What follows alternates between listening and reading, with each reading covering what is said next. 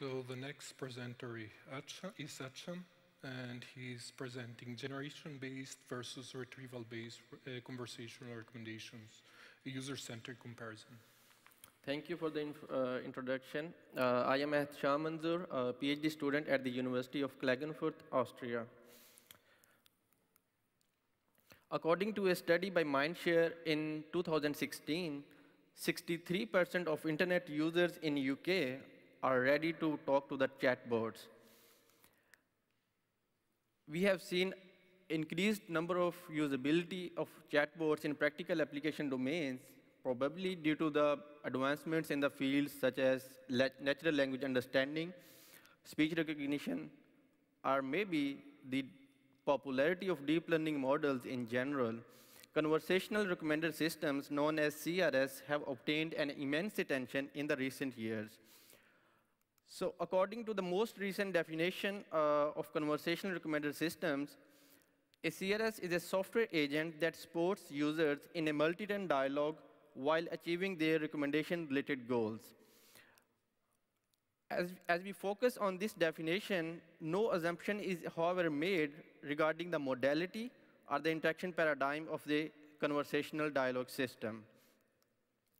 So coming towards the generation-based approaches, uh, where multiple or maybe one neural network-based models are trained on, recommenda on recommendation dialogues uh, conducted between humans. So given the user utterance as an input, these trained models generate responses uh, to the, in the given context. So in our previous research, we did a comprehensive and multiple analysis on, on evaluating the performance of the responses generated by such generation-based approaches. And we found that uh, broken responses are very much often generated by such uh, generation-based systems. And in addition to that, we also found issues, for example, generation of two general responses, um, repetitive responses and recommendations in the same dialogue, and sometimes the misfit of metrics applied in their evaluation process. So Deep CRS and KBRD are the most recent examples of conversational recommender systems based on generation approaches. The, these two approaches have been developed in the context of redial dataset. A redial dataset is collected with humans where uh, one human played the role of recommender and another as a uh, seek, uh, recommendation seeker. So we have in total 100 plus dialogues in this data set. Um, while analyzing these two works, we found that the focus on empirical evaluations or offline evaluations is way too much compared to the user-centric evaluations. And particularly in these, uh, the, the, studies that reported in these papers, we found the study participants were quite limited. And sometimes the details regarding the background of study participants were missing too. So it was unclear to what extent these systems are usable in practice. So amid these uh, a number of issues regarding the responses of generation-based approaches, one wonders an alternative may, may do the trick. So in that context, we studied retrieval approaches in general. Overall, the idea is in retrieval approaches, the system fetch the responses and possibly adapt in the given context. So while looking at the literature of retrieval approaches in the context of NLP, uh, we found that the responses retrieved by such systems or such methods have advantage over the generation-based approaches.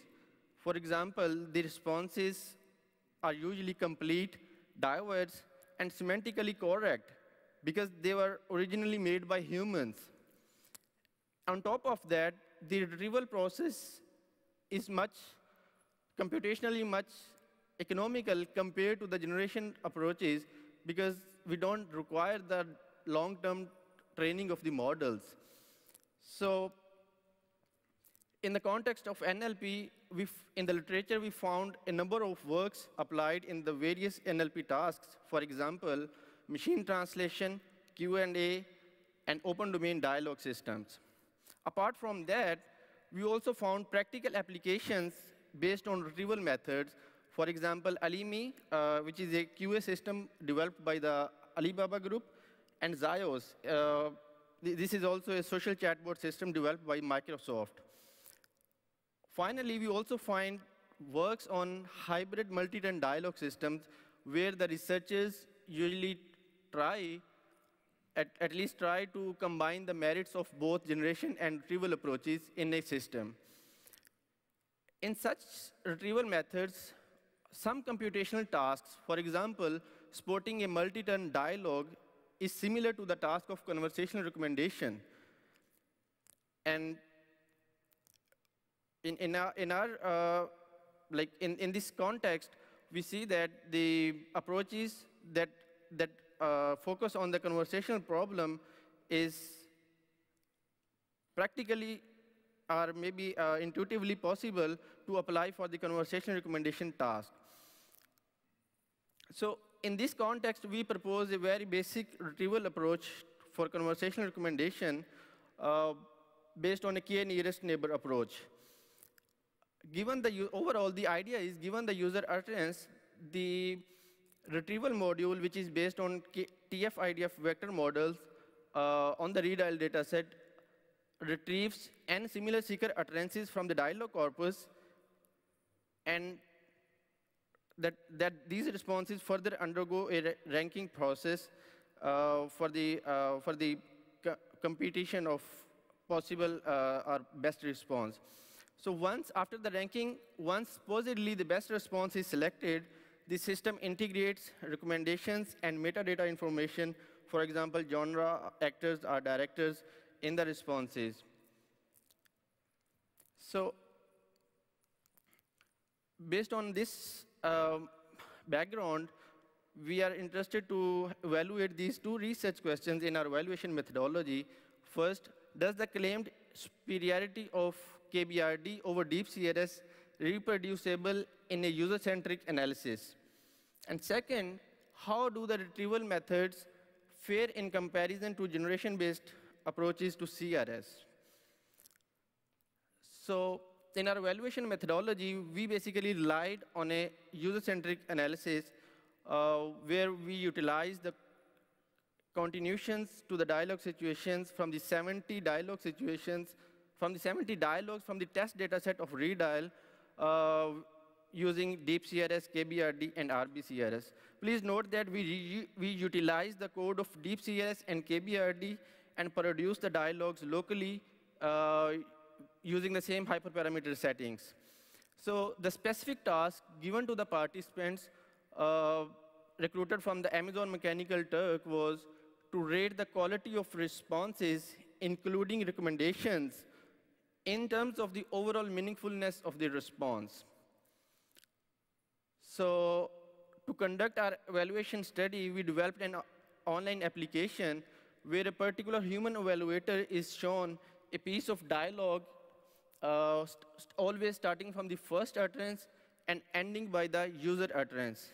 So the as a continuation to this dialogue situation, the chatbot responses from three different systems like DeepCRS, KBRD, and RBCRS were shown in a random order.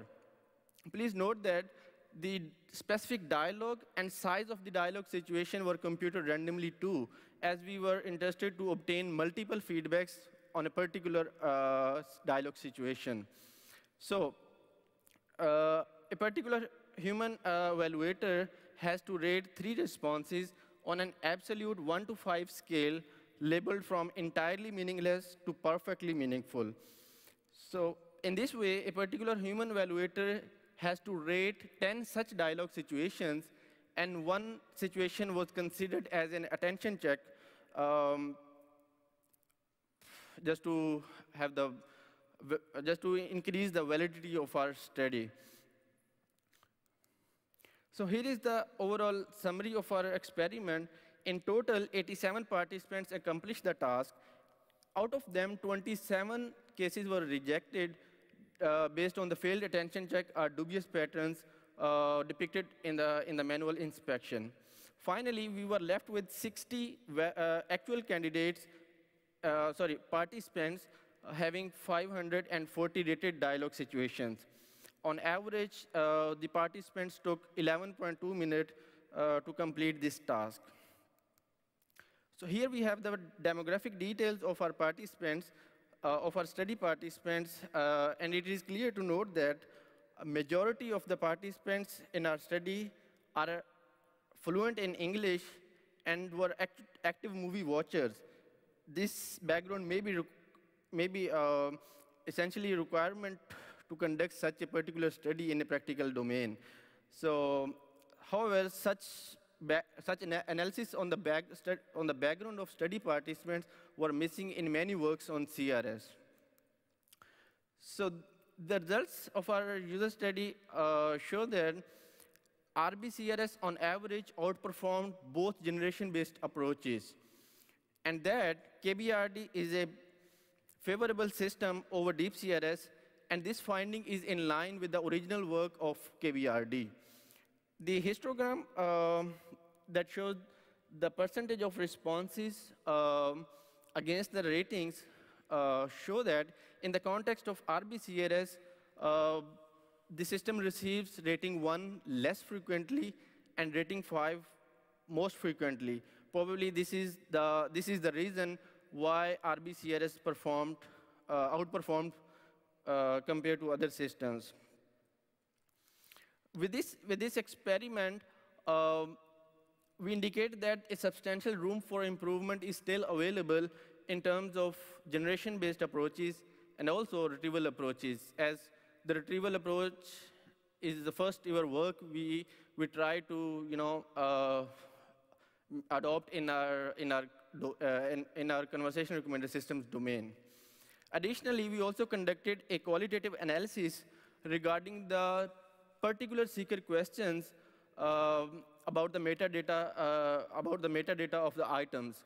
So, for example, the particular question could be, who is the star actor in this movie, or what this movie is about. So, we took the data of our previous experiment and found that there are 25 unique cases where the dialogue situation ended with a specific seeker question.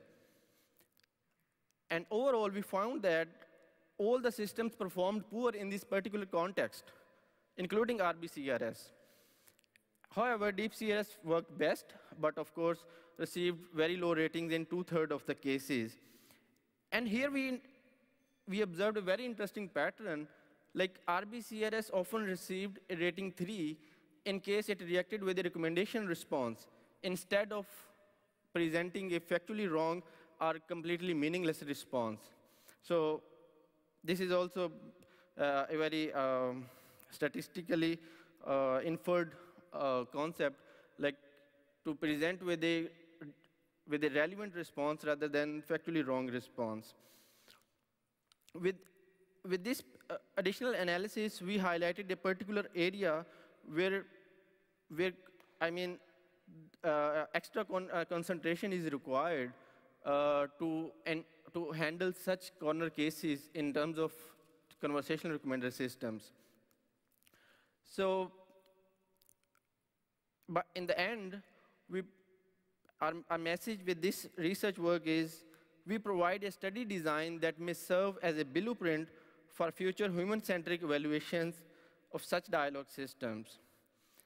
And finally, it is vital to also investigate what is specifically not working instead of reporting analyses on what is working, a missing aspect in many works on CRS.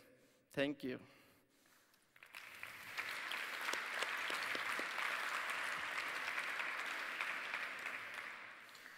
So we have a couple of questions from the online audience. So um, do you have numbers on interannotators agreements for the user ratings? Uh, could, could you please repeat? Do you have numbers on interannotator agreement for the user ratings? Inter what? Inter-annotator. Annotator? Yeah, annotator. Okay, we. Um,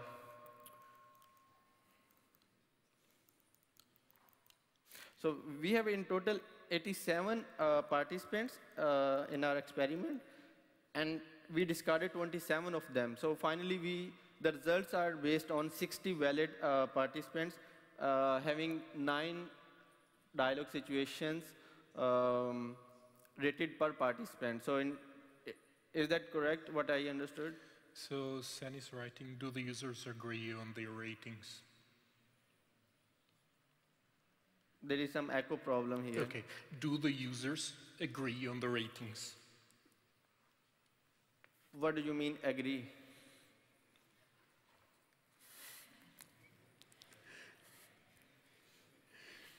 So, so do the users agree on the ratings or the same situation given to multiple uh, participants? Okay, okay, um, I see. The, basically, um, we did not do any uh, analysis on inter, uh, inter feedbacks by different participants on the particular um, uh, dialogue situation. So, but yeah, for future work, I guess this is an interesting uh, concept to, you know, to, To find the correlations between different participants uh, for a particular case. I was just wondering, what were dubious patterns that you used actually in discarding? Okay, so uh, thank you for asking this question. Uh, basically, uh, when we, uh, after the experiment, uh, when we um, manually inspected the whole data, we found that there were some users uh, who did not accomplish the task attentively. Attentively, uh, you can say um, more attention, at, with the attention, uh, because we found some patterns. For example, if, uh, if, if a particular response, for example, hello, what kind of movies are you looking for, is presented by the one system, and in the same dialogue situation, the, some, the, same, the same response is also presented by other system and, and receive different ratings, completely different ratings, we see like, okay, this is the dubious pattern. Because this is the inconsistency of the same type of response given the same context. Uh, uh, this is just one case, uh, but uh, in our paper we also mentioned some other cases.